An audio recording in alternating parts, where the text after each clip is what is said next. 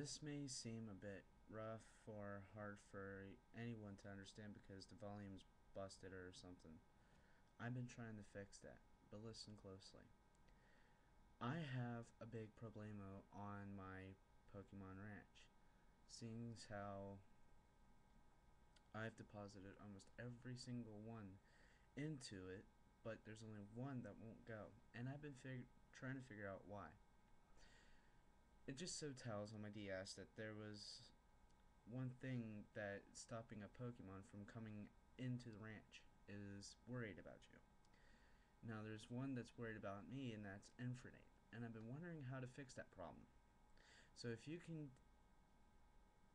compliment, email me back, tell me what to do about that problem and I'll get straight to it. Because I need to really figure this out and I mean right away. That's all I guess. Uh, until then, um, try to help me figure this out and if you can, please email, comment, whatever. I need it badly. I mean, I can't get Infernape into the ranch until I figure the problem out. And I can't, I've been doing everything I could just to fix it, but apparently I can't, so. Please do comment and whatever. Uh, I'll get back to you on that, so. Until then, I'll see you later.